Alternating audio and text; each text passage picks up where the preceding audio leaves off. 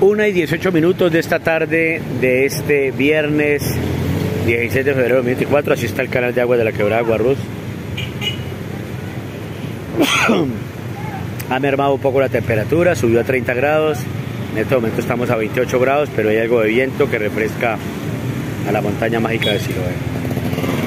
Así está el canal de agua de la quebrada Guarruz.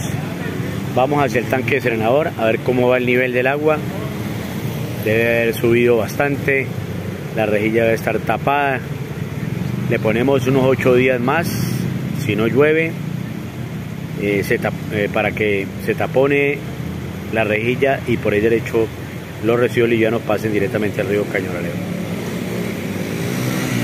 Saludando a la ingeniera sanitaria Solaño Morillo Baltano, hoy viernes 16 de febrero de 2024, este es el informe de la quebrada Guarruz el tanque Serenador y el río Cañoralejo, hoy 16 de febrero de 2024. Sigue cayendo agua residual a la quebrada Guarruz, como ustedes lo pueden observar.